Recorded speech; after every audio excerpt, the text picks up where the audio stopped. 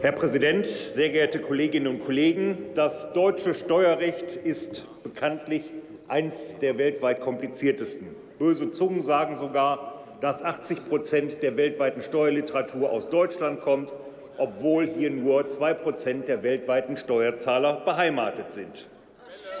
Die Umsatzsteuer mit ihren Ausnahmeregelungen mutet hier bislang sehr skurril an. Schauen wir uns mal ein jedes Jahr wiederkehrendes Beispiel an. Weihnachtsbäume. Sie kaufen einen Weihnachtsbaum, dieser ist bereits geschmückt, oder einen Kunstweihnachtsbaum, Sie zahlen 19 Prozent Umsatzsteuer darauf.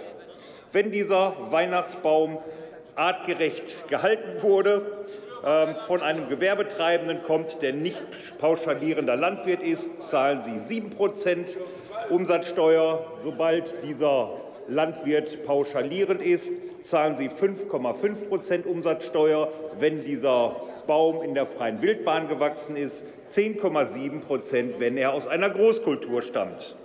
Andere Beispiele. Wir haben 7 Prozent Umsatzsteuer auf Kartoffeln, aber 19 Prozent auf Süßkartoffeln.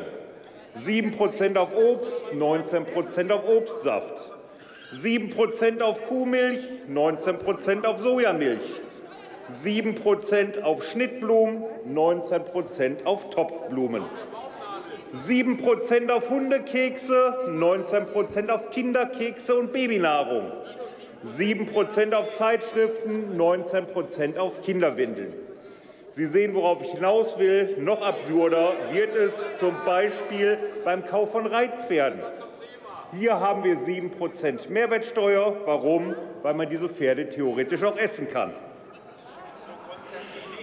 Ernsthafte Versuche, die Mehrwertsteuer zu reformieren, hat es seitens der Bundesregierung nicht gegeben.